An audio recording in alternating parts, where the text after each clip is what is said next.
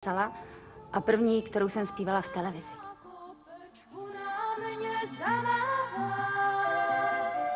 Já však hledám svou ovečku, táta nadal.